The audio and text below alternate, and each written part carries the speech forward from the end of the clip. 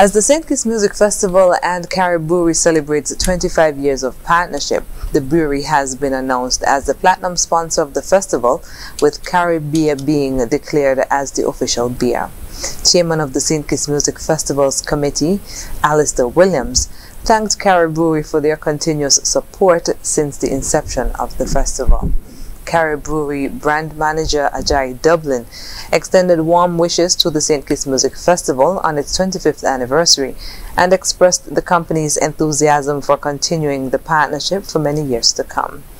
Taking place from June 22nd to June 24th, the St. Kitts Music Festival promises a diverse range of music genres featuring an impressive lineup of local, regional, and international music musicians.